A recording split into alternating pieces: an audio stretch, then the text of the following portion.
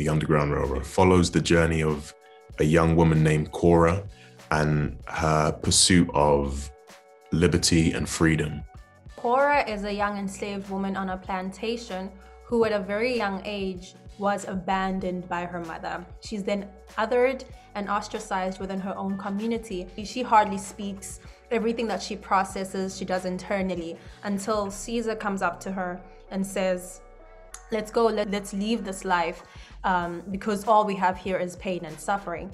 Caesar is a character who he was born in Virginia. Um, he was promised manumission. That manumission didn't come to fruition. Um, he meets Cora on a plantation in Georgia, and together they escape the plantation in the pursuit of uh, of freedom and liberty. There is nothing here but suffering, pain, and suffering. It is time to go. With the role, I read the book after having met Barry, and I felt that as an African outside of America, I was learning something that which the, you know, the, the white supremacist gaze had not allowed me to see prior to reading this book. And so it's a story about Africans in America and not just African Americans. So it's not as far removed as we would like it to be. And I really wanted to tell that story. There's anger in you. It'll fuel you, yes, but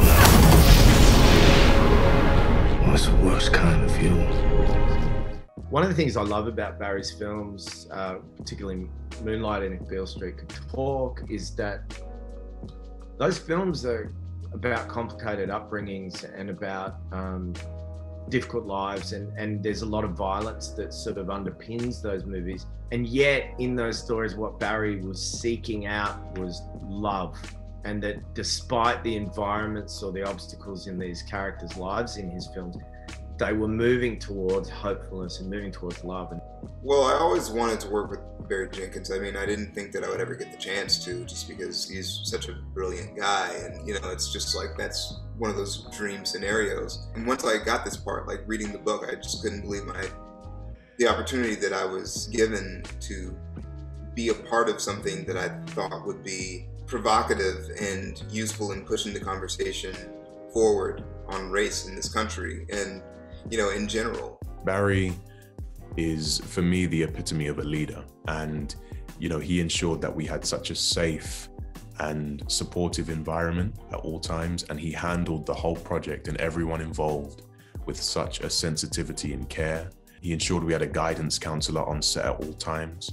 And irrespective of whether you utilize that service or not, it's important to just know that that is there, you know, if and when you need it you know, if you find yourself in a, uh, you know, a, a, particularly dark place or feeling overwhelmed, it's good to know that there is someone who can assist you out of that. Savagery a man is capable of when he believes his cause to be just. I want people, number one, when they watch this, to feel seen and heard that your your experiences are very valid. Your frustrations are very valid. So i want people both black and non-black outside of the black community to go oh this actually happened. How do we empathize? How do we make it better from here? What are the ways in which we can sort of have those tough conversations with ourselves to sort of you know either a push the the dialogue in this country on race forward, but also just like, you know, in general, what are the ways in which we ex- accept certain injustices um, because that's just the way it is.